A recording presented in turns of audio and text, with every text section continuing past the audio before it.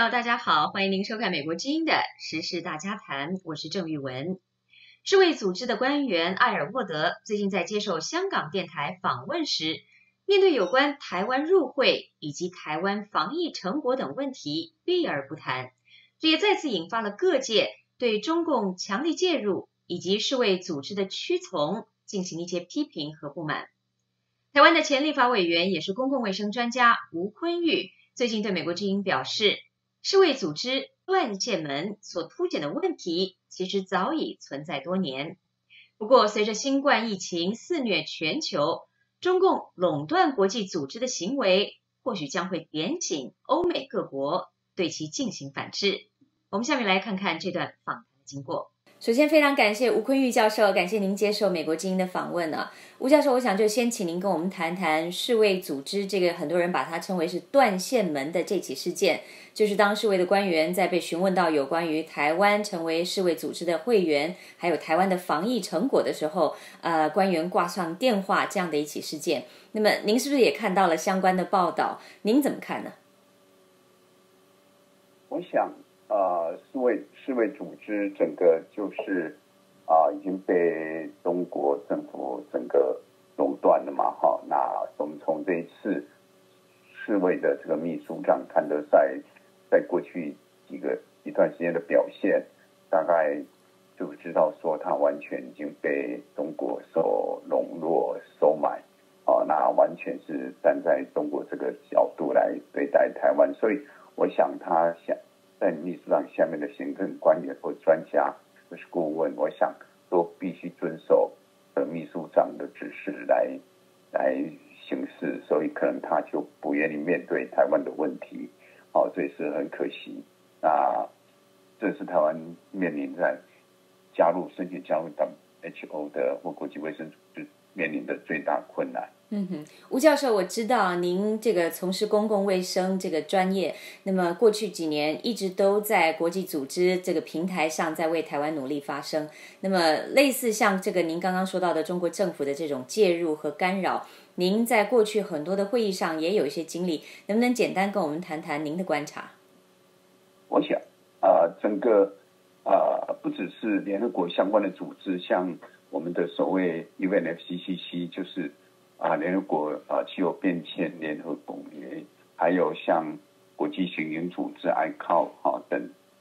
那包括 WHO，这个都是台湾很积极想要加入去参与贡献台湾的啊专业的组织。那我想我们都被排拒在外。那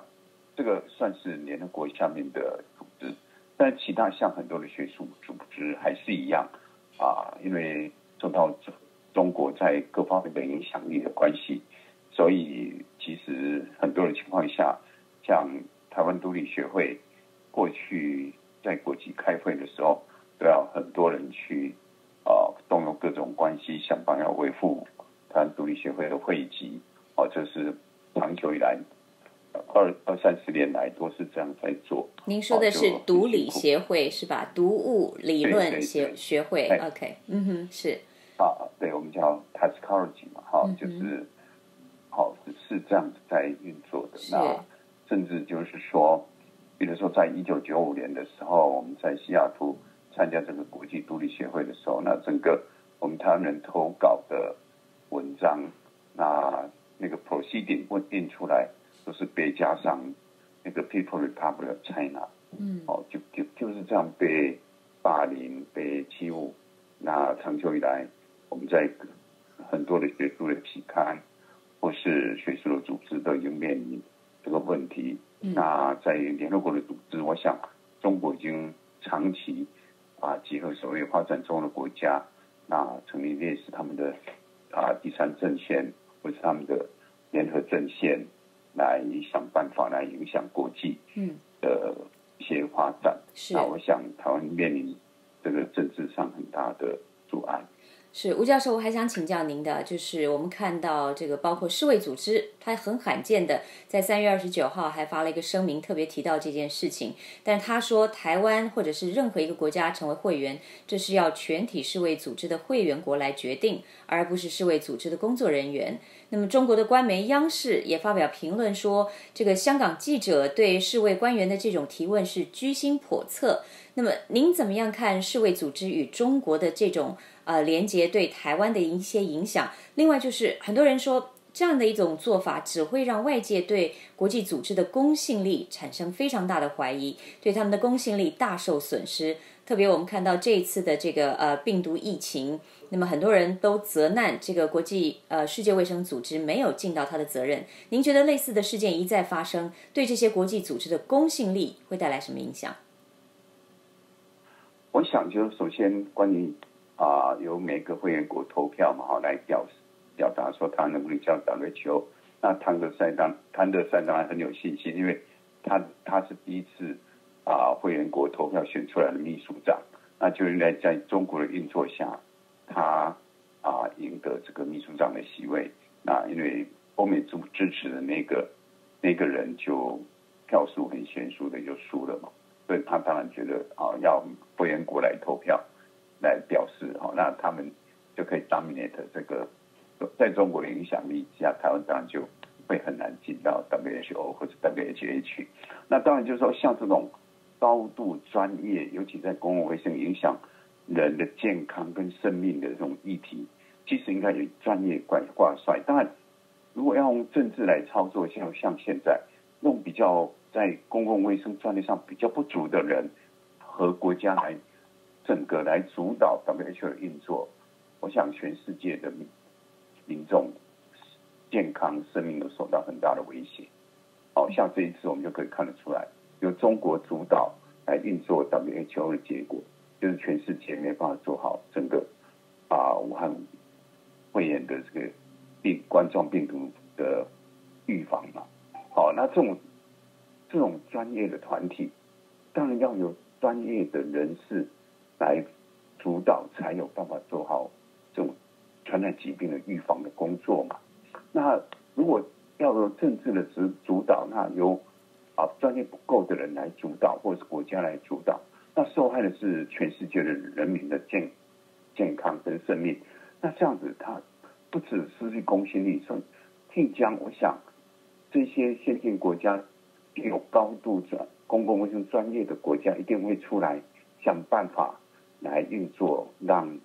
这个非专业的人士退后，往后退，然后由这个专业来主导。我想这个是潮流啦，为了保护全世界。